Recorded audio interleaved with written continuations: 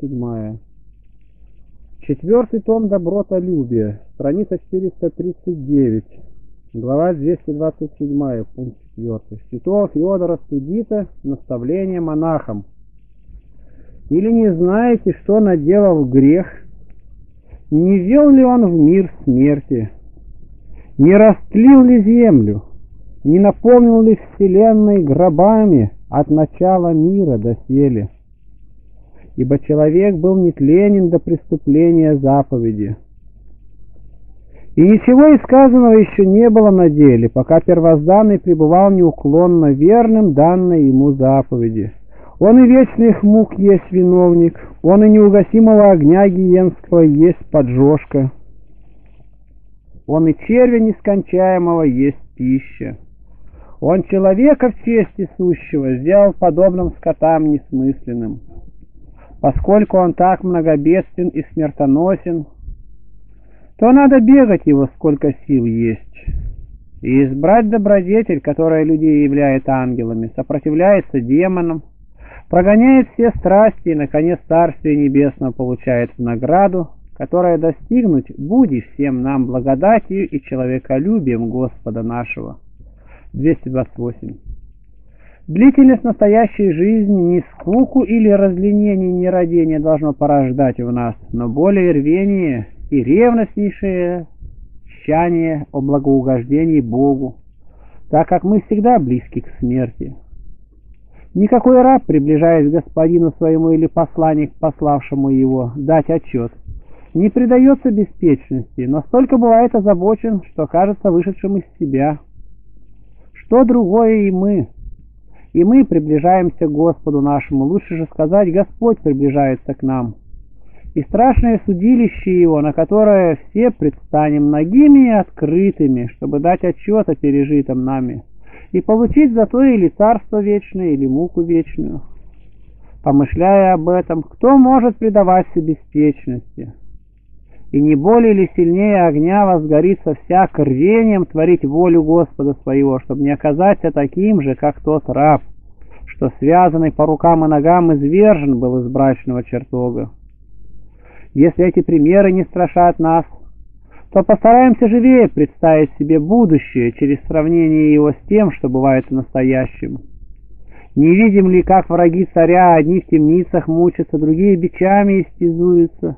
Те ссылку ссылаются, эти очей лишаются. Иные бывают в опасности лишиться самой жизни. Но и те, которые ничем не провинились, с каким страхом и трепетом предстоят и служат – Туда и сюда посылаются на войну и на другие тяжелые дела. И нет противоречащего, нет неповинующегося. Если так бывает у царя смерти, смертного, не тем ли более у бессмертного и единого царя царствующих и Господа господствующих, со страхом и трепетом должно это совершаться. И ничего, кроме повеленного, не делаться. Слышите, что говорит Слово Божие? Или о богатстве, благости и кротости и долготерпения не родишь, не зная, что благость Божия ведет тебя к покаянию.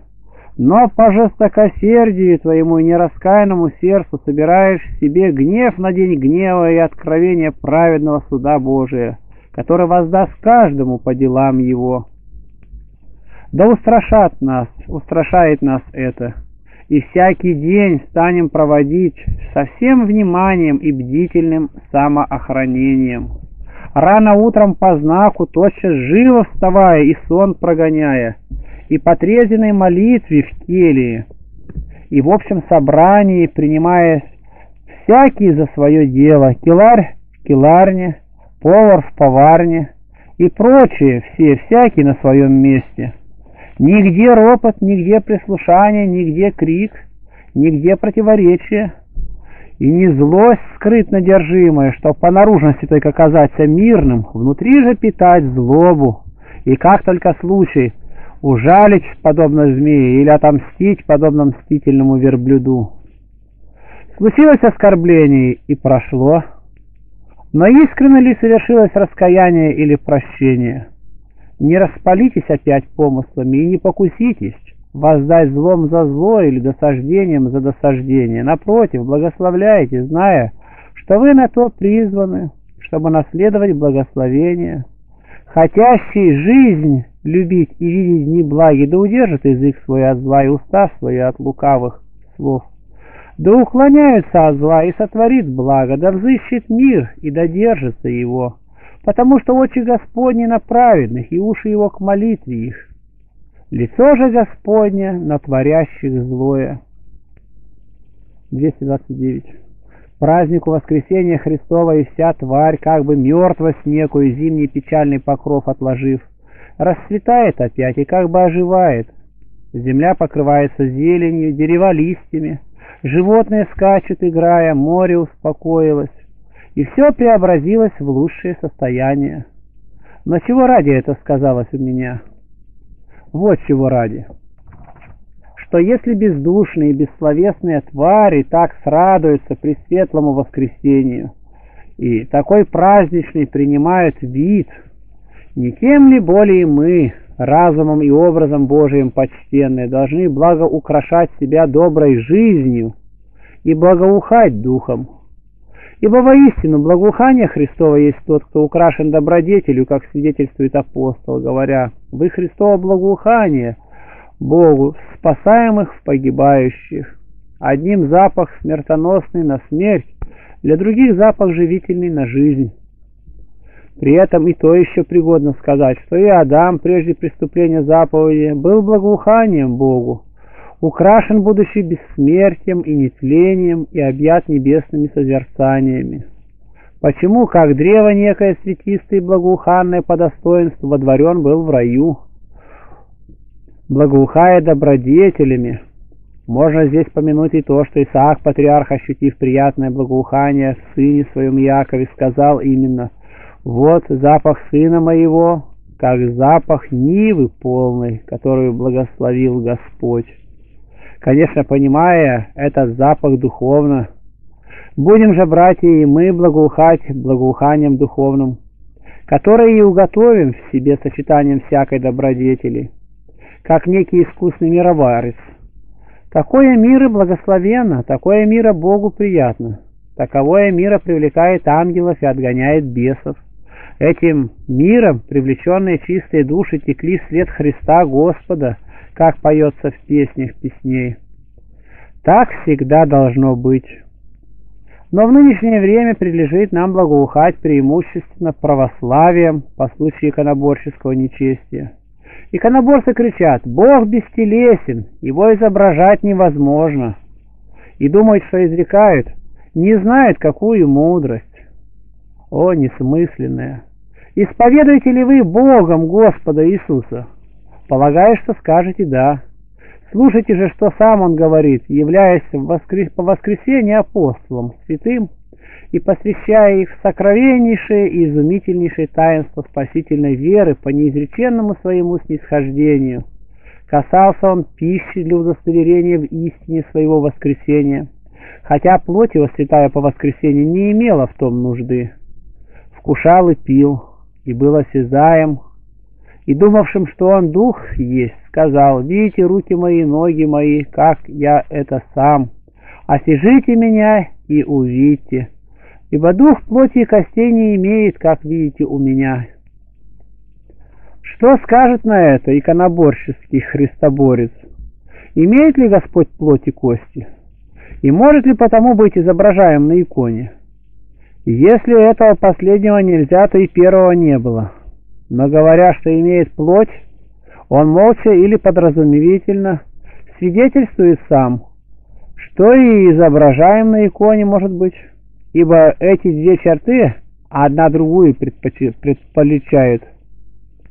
Почему эти иконоборцы одинаковые с манихеями муку примут, погибель вечную, как написано, 2 Фессалоникийцам 1.9. Мы же, братья, в православном мудровании, веруя, что и видеть можно Господа нашего Иисуса Христа на иконе, и поклоняться Ему на ней, и упокоиваясь на этом, всю ревность обратим на то, чтобы достойную веру нашей и жизнь показывать чистую, безукоризненную, непорочную, чтобы ни на ту, ни на другую колень не хромать, но и то, и другое благоискусно ступая, достигнуть нам Царствия Небесного. 230. Праздников праздник для нас и при дверях сущее вознесение Спасителя нашего Иисуса Христа, таинство великое и преестественное. Ибо естество наше вземлется за пределы видимого неба, как написано, Бог, богатый в милости, нас мертвых прегрешениями соживил со Христом, и с Ним воскресил и посадил на небесах во Христе Иисусе, одесную себя на небесах превыше всякого начальства, власти и силы, и всякого имени, именуемого не только в веке сем, но и в будущем. И все покорил под ноги Его, и того дал главу выше всех церкви, которая есть тело Его исполнение, исполняющее всяческое во всех. Видите, на какую высоту славы подъято человеческое естество. Не от земли ли на небо, не от тления ли к нетлению. Сколько иной трудится, чтобы сделаться другом царю земному и смертному. Мы же и притом, будучи отсуждены, и враги помышляемы в делах лукавых, даром не только примирены Богу и Отцу Господом нашим Иисусом Христом, но и до сыновления возвышено и ныне естество наше на небесах, от всякой видимой и невидимой твари поклоняемое. Таково величие неизреченного человеколюбия благого Бога нашего. Помыслив о нем и зная недомыслимость его для нашего ума, Блаженный Павел молится, да Бог Господа нашего Иисуса Христа даст верующим духа премудрости в познании Его. Ибо увидите нам, Кое есть упование звания Его, и какое богатство слава достояния Его во святых, и какое преспеющее величество силы Его в нас, верующих, по действию державы крепости Его, которую содеял во Христе. Ефесянам 1.17. Но что ведь и было, пришел Он к нам, все благие, через девственное рождение, поработился подобающим законам естества, взошел на крест, пригвоздив на нем наше рукописание, которое было против нас, не шел в преисподней земли, разрешив болезни смертные, воскрес, совоставив в себе человеческое естество. Наконец вознесся во славе, явив себя ходатаем за нас Богу и Отцу. Таково, вкратце сказать, значение этого святого праздника. Созерцая его и уразумев, что мы тело Христово есть, Благоговейно почтим дар, будем хранить свое благородство. Не предадим благодати, не сотворим членов Христовых членами блудницы. Но еще более очистим себя и в помыслах, и в действиях. Еще более отрешимся от плоских похотей, воюющих на душу, житие наше имея доброе в себе самих – мирное, благопокорное, послушливое, смиренное, благоустроенное, каковое житие и есть житие блаженное. Утехи же и забавы, смехи и невоздержание предоставить надо плотолюбцам и животолюбцам, которые видящие не видят и слышащие не слышат, окамененные имея сердце и отягченные уши, чтобы не различать добро от зла, свет от тьмы, жизнь от смерти. Мы же, братья, будем держаться исповедания, в котором стоим и хвалимся упованием славы Божией. Возьмемся за труды подвижнические, в которых подвязались святые, в числе их и ныне песнословимый Пахомий Блаженный. Здраво смотреть будем, здраво слушать, здраво осязать, всеми членами здраво будем пользоваться, да наследники будем по обетованию жизни вечной. 231 празднуем Вознесение Господне, конец воплощенного домостроительства Господа нашего Иисуса Христа. Все совершив по воле очи, вознесся Он во славе, и нас-то воскресив, посадил и на небесах во святой плоти Своей. Какое богатство славы Его, и какое приспеющее величество силы Его, что смиренное и ничтожное наше естество возвел на божеский царский престол — и всякая небесная сила ему поклоняется. Помышляя об этом, страха и трепета исполнимся. Благоговейно почтим величие дара и достойно главы нашей будем жительствовать, как члены Христа, как стелесники Его и сонаследники, о чистоте, в ведении, в долготерпении, в благости, в духе святи, в любви нелицемерной, в слове истины, в силе Божией, со всяким послушанием и смиренно мудрием, со всяким старанием и вниманием, ничего не произнося неуместного, ничего не делая против заповеди. Итак, оскверняющий тело уже не Христов член, злопамятствующий уже не Христов член, другой какой страсти обладаемый уже не Христов член, и потому уже недостоин причащаться святых тайн. Ибо апостол говорит, да испытывай же себя человек, и таким образом ест от хлеба и пьет из чаши сей. Идущий пьющий недостойно суд себе ест и пьет, не рассуждая о теле Господнем. Посему многие из вас немощны и больны, и немало умирает. Ибо если бы судили сами себя, то не были бы осуждены. Будучи же судимы от Господа, наказываемся, чтобы не быть осужденными с миром. Потому упреподобимся и очистимся, да достойно членами Христовыми наименованы будем, и святых тайн достойно причащаться будем. Если же случается нам от невнимания возгореться похотью злой или гневом, или завистью, или ненавистью, или другим чем ненавистным Богу, да не дивимся, но поскорее восстановим себя в прежнее доброе настроение, отрезвимся и не замедлим возле этом, ибо произволение, произвольное замедление в этом приносит неизвинительное осуждение. К тому же разве смерть не может нечаянно прийти? Вот вчера посетили мы епископа болящего и нашли его в большой нужде, всего истощенным, огневицей, туда и сюда обращающим взоры, нигде помощи не находящим. Разве мы не можем тотчас тому же подвергнуться? А эти муки сравнительно с будущими что суть? сон и тень. Тот огонь не угаснет, и червь тот не умирает. Мрак не рассеивается, узы не разрешается, скрежет зубов не пресекается. И все другие мучения вечны. Действенно помышляя об этом, братья, перестанем страстолюбствовать, завидовать, гневаться, осуждать, клеветать. И ничего другого худого делать не будем. А напротив, станем мирствовать, доброе держать настроение, сокрушаться, благостынствовать, боголюбезно любить друг друга и все повеленное усердно и охотно делать, чтобы и вечных мук избегнуть, и жизнь вечную достичь. 232. Пятидесятницу празднуем и Духа Святого сошествия, о котором говорит Господь, «Лучше для вас, если я пойду, ибо если я не пойду, то утешитель не придет к вам, если же пойду, то пошлю его к вам» и пришед, он наставит вас на всякую истину. Какое это обетование! Какое нас удостоение ни ангела, ни человека послать обещал, но самого соестественного Духа.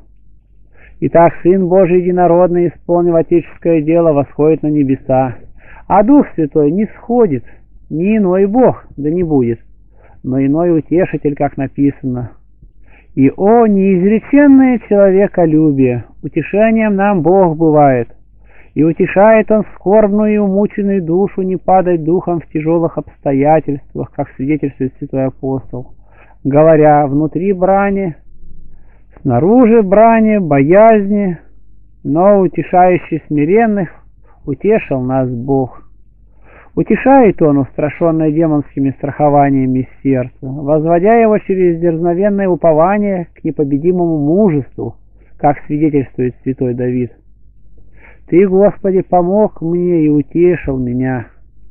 Утешает, воодушевляя смущенный ум, что ему дан мир с Богом возыметь и покой. Как свидетельствует апостол, говоря, «По Христе молим, и как бы сам Бог увещевает через нас, примиритесь с Богом. Видишь неисследимое снисхождение? Видишь дар несравненный?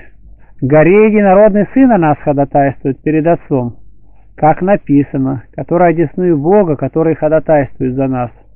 Долу Дух Святой утешает многообразно. Что же воздадим мы за это Господу? Нам остается только восприять песнь псаломскую и взывать. Все кости мои скажут, Господи, Господи, кто подобен Тебе, избавляющий нищего от руки крепших его, и нищего и убогого от расхищающих его. И опять, помощь моя от Господа, сотворившего небо и землю. И еще, если бы не Господь помог нам, то давно бы вселилась душа моя в ад. И Господь мне помощник, не убоюсь, что сделает мне человек.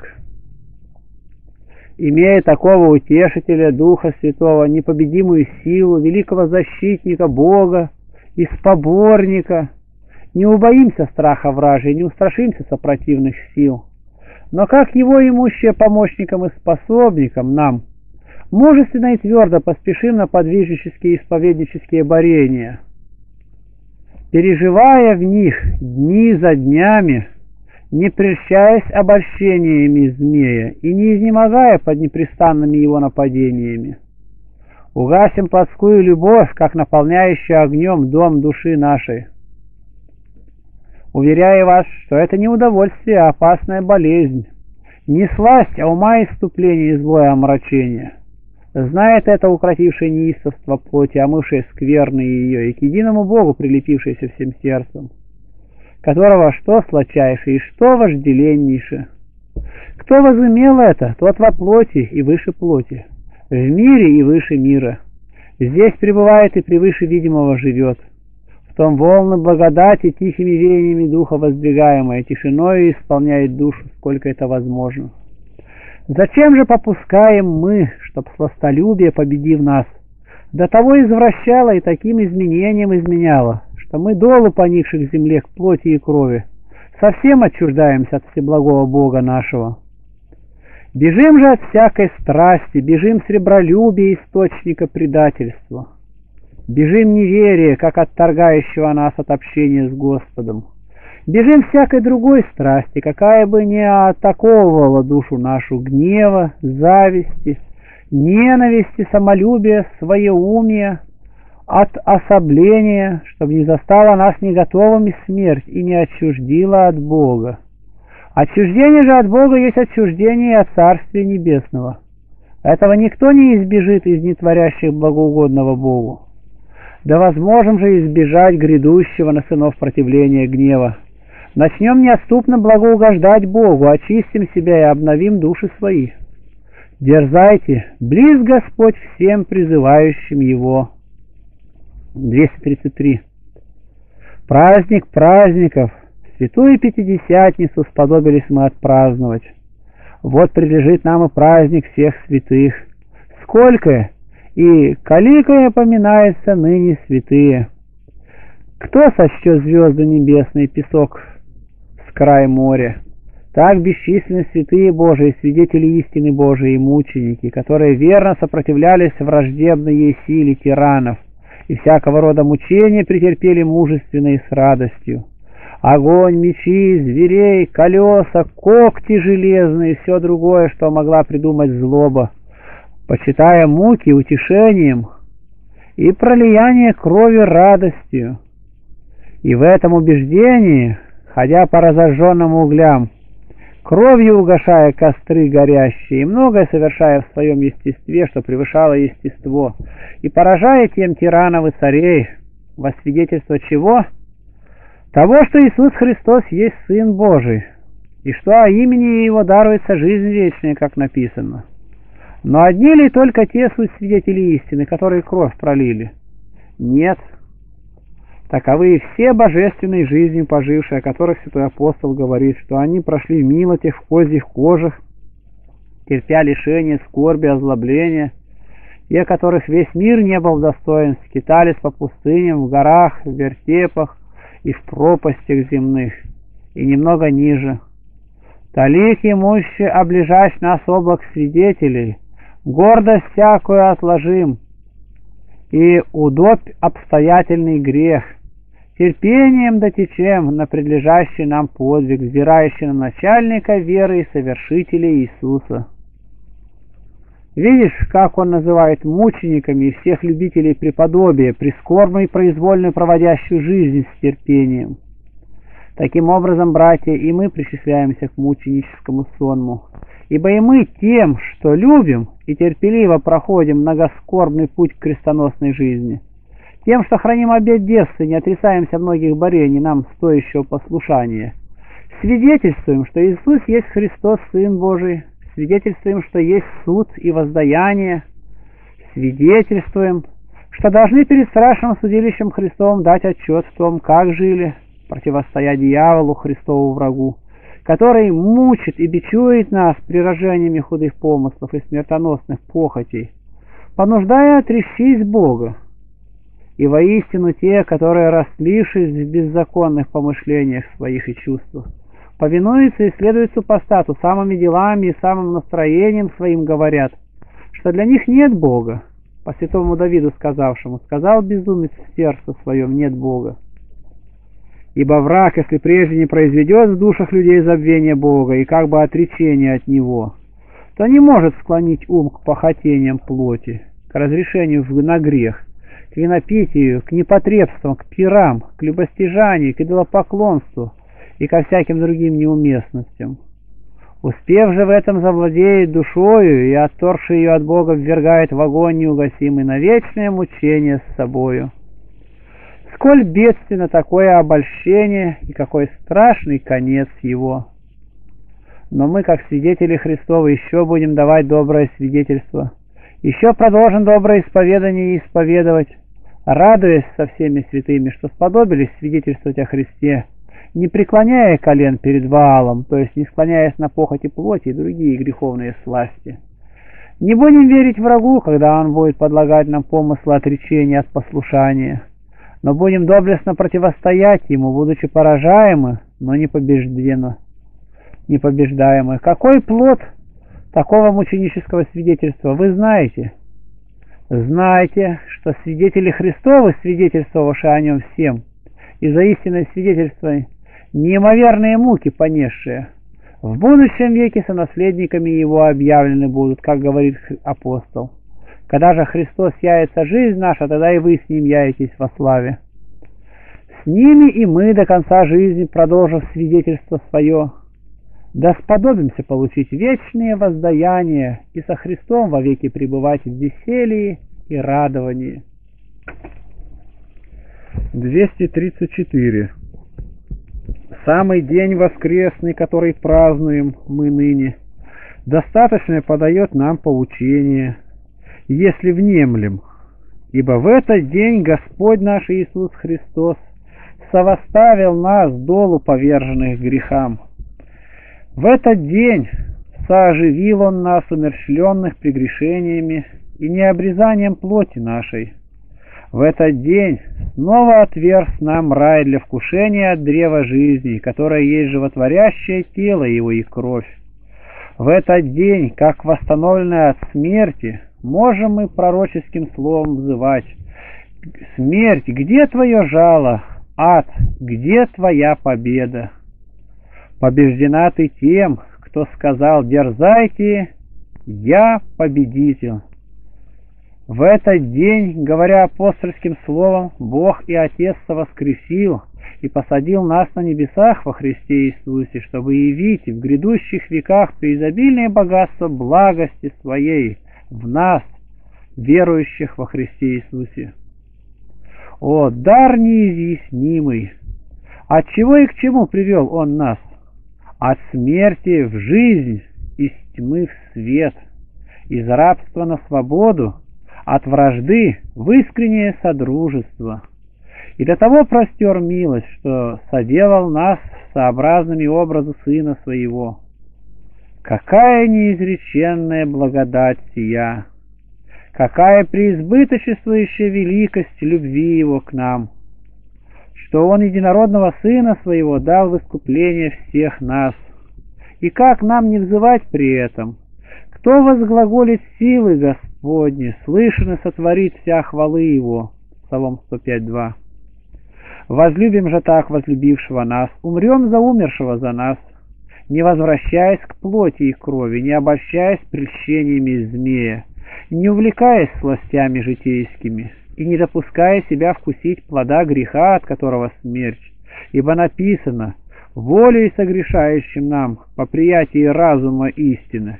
К тому о грехах не обретается жертва, но некое страшное ожидание суда, готово пожрать противников. Евреям 10.26.